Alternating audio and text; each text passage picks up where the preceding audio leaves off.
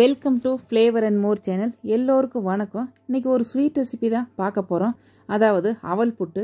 வாங்க எப்படி செய்யலான்னு பார்க்கலாம். அவல் புட்டு செய்கிறதுக்கு ஃபஸ்ட்டு ஸ்டவ்வில் கடாய் வச்சுக்கோங்க. சூடானதையும் ஒரு கப்பு கெட்டியான அவல் எடுத்துக்கலாம். அதை கடாயில் சேர்த்திக்கோங்க.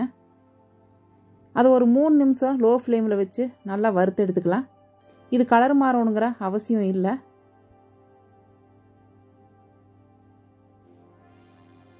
இது நல்லா வறுபட்டுருச்சு. ஒரு பிளேட்டுக்கு மாற்றிக்கோங்க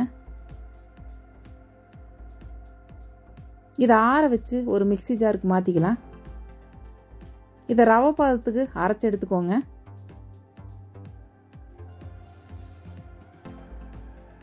பாருங்கள் இந்த மாதிரி கொர கொரப்பாக அரைச்சி எடுத்துக்கணும். ரொம்ப நைஸாக அரைச்சிடாதீங்க. இதை ஒரு பவுலுக்கு மாற்றிக்கலாம் அரைச்சி வச்ச அவரை பிசைகிறதுக்கு தண்ணியை கொதிக்க வச்சு எடுத்துக்கலாம். இப்போ அதை கொஞ்சம் கொஞ்சமாக தண்ணி விட்டு நல்லா ஃபுல்லாக ஈரப்பதம் ஆகிற அளவுக்கு மிக்ஸ் பண்ணிக்கோங்க. அதிகமாக தண்ணி சேர்த்திக்காதீங்க. அது ஊறுற அளவுக்கு தண்ணி சேர்த்திக்கிட்டால் போதும்.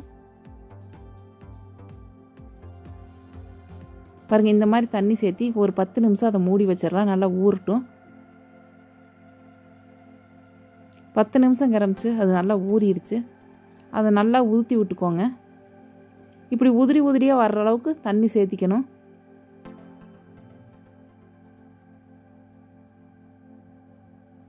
இப்போ ஒரு கப் அவளுக்கு ஒரு கப் வெல்லம் எடுத்துக்கோங்க. அதை ஒரு பாத்திரத்தில் சேர்த்திக்கலாம்.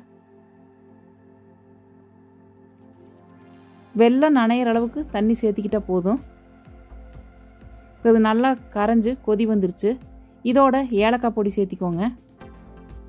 இதை நல்லா மிக்ஸ் பண்ணிக்கலாம்.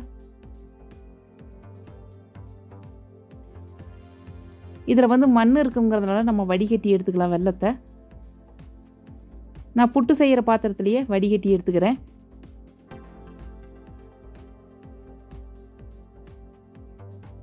இப்போ இது நல்லா கொதி வரட்டும். அவல் புட்டு செய்யறதுக்கு பாகுபதம் செக் பண்ணணும். ஒரு பாத்திரத்தில் தண்ணி வச்சுக்கோங்க. வெள்ளை கரைசலை கொஞ்சமாக சேர்த்திக்கலாம். பாருங்கள் இப்போ அது பிரிஞ்சு போயிடுச்சு இன்னும் பாகுபதம் ரெடி ஆகலின்னு அர்த்தம்.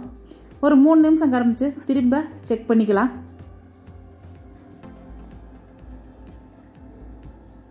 பாருங்க தண்ணியில் சேர்த்துறப்ப ஒரே இடத்துல நிற்கிது பாகுப்பதம் வந்து ரெடி ஆயிடுச்சுன்னு அர்த்தம்.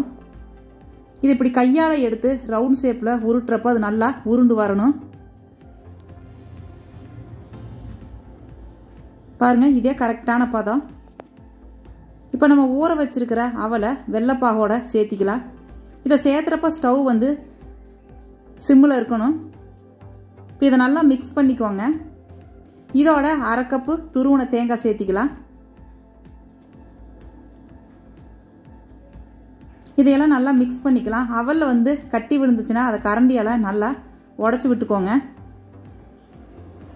இது கொஞ்சம் நேரம் ஆக ஆக கெட்டியாக ஆரம்பிச்சிடும் நல்லா சுருண்டு வர்றப்ப ஸ்டவ் வந்து ஆஃப் பண்ணிடுங்க இந்த நேரத்தில் ரெண்டு டீஸ்பூன் நெய் சேர்த்திக்கலாம். இதையெல்லாம் நல்லா மிக்ஸ் பண்ணிக்கோங்க. இப்போ முந்திரி தாளிக்கிறதுக்கு கொஞ்சமாக ஒரு பாத்திரத்தில் நெய் சேர்த்திக்கலாம். ஒரு பத்து பீஸ் முந்திரி எடுத்து நல்லா செவக்க வறுத்துக்கோங்க. இப்போ இது நல்லா செவந்துருச்சு.